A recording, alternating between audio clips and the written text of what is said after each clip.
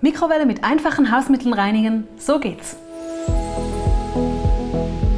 Diese Mikrowelle steht schon seit Monaten ungebraucht bei uns im Atelier. Ungebraucht heißt allerdings nicht sauber, unsere ist jedenfalls verschmutzt und diese wird jetzt gereinigt und das sollte mit diesem Trick ganz einfach funktionieren. Wir nehmen eine Tasse mit Wasser und geben einen Schuss Essig sowie den Saft einer halben Zitrone rein. Die ausgedrückte Zitronenhälfte darf auch gleich mit rein und so kommt die Tasse in die Mikrowelle, welche wir auf höchster Stufe 5 Minuten laufen lassen.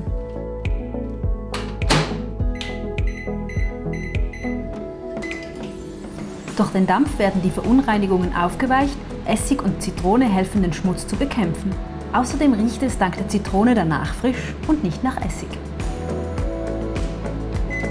Die Tasse entfernen und alles mit einem Lappen abwischen falls nötig den Lappen zwischendurch mit frischem Wasser spülen, am Schluss alles nachtrocknen.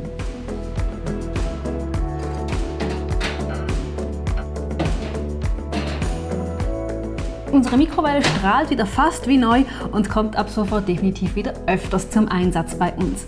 Habt ihr Wünsche, was wir für Mikrowellen-Videos drehen sollen? Tipps und Tricks oder habt ihr ein Problem mit eurer Mikrowelle? Wir suchen nach der Lösung und versuchen euch ein Video damit zu machen. Danke fürs Zuschauen, bis zum nächsten Hack. Tschüss!